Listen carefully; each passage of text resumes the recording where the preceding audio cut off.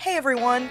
After a much too long and unexpected break, I'm back and ready to talk some games. Today, we're going to be talking about what is basically Sweeney Todd the game, only instead of the Demon Barber of Fleet Street, you play as the Demon Tailor of Fleet Street. I'm pretty excited, so let's jump right in. Today, we are talking about Ravenous Devils.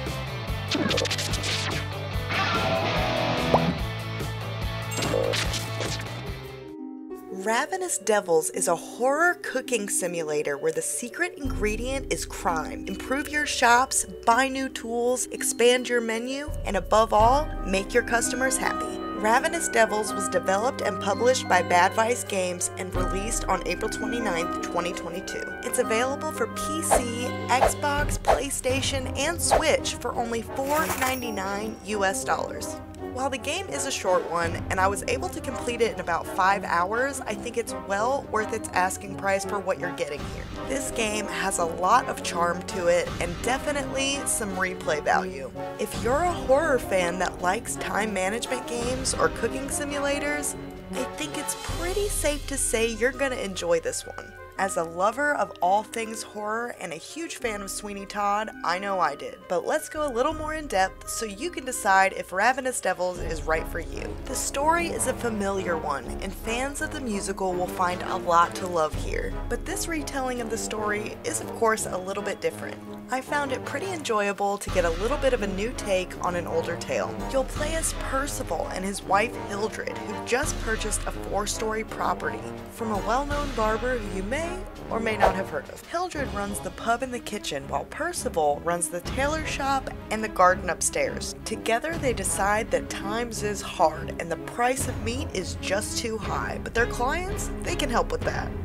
Visually, I love what they've done with the artwork here. The voice acting, music, and sound effects all do an absolutely amazing job at setting the tone of this game. The environments are really well crafted and have a ton of close attention to detail. I really enjoyed the way this game was designed and the way that the gameplay works. The gameplay loop is absolutely easy to learn, but it can be difficult to master.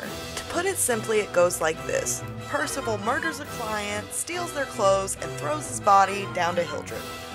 Hildred will then take said body, process it into meat, and use it to cook some recipes. And I think my favorite thing about this game, in addition to its addicting gameplay loop, is just how well done the animations are. Not only are they well done, but they are gruesome. And they just tend to get more and more gruesome the more you go. I think it's freaking awesome. You'll start with simple recipes that will get more complex as you progress. You'll have to collect all the ingredients you need, put it on a cooking tray, and then pop that into the oven. After some time, your food will be cooked and ready to serve in the pub upstairs. With Hildred's job complete, Percival also has to make sure that his area is clean before the next client comes in as well as make sure he's got clothes on the mannequins for clients to purchase. Once the work on both sides is completed, you're ready to open the shop for the day. You'll start off small and fairly simple, but it definitely gets harder as you go. As you sell your items, both food and clothing, you'll earn money, which you can use to buy upgrades for all of your areas. And while these upgrades allow you to do more, they also tend to increase the difficulty. But in my opinion, that's when the game starts to get really fun, and the gruesome animations do not disappoint. I certainly was not expecting this game to be this gruesome when I first saw it, and I was so impressed. I felt like it just kept getting better and better. But moving on, there are quite a few upgrades for all the different areas. There are equipment upgrades, there's recipe upgrades, and more. The game also has different skins you can purchase for your characters, which I really thought was a nice touch.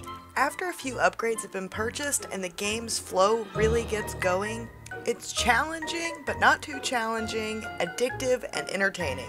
Ravenous Devils does a great job at setting the mood and delivering its story through a mix of well done in game cutscenes, artful animatics, and letters that your character receives in the mail as the game progresses. I wasn't expecting much effort to be put into the story if I'm honest, and I have really enjoyed these small details. Though it's short, I could definitely see myself going back to it to play for a second time, and I would say 100% absolutely worth the $5.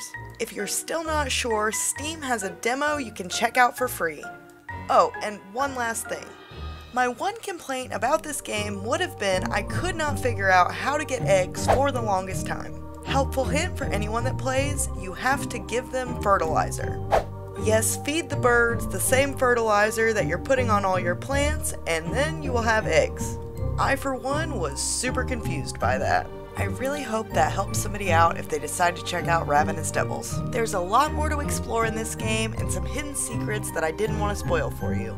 I think Ravenous Devils is a really well done game and a definite win for horror fans. I really hope you guys enjoyed this video, and I really hope you'll come back to join me in the future where we're going to talk about Vampire the Masquerade Swan Song, a new co-op card battler, and a fantasy-themed farming sim with magic, dragons, and more. Thanks so much for watching. Questions, comments, concerns, funny jokes, please leave it in the comments below, and I'll talk to you next time.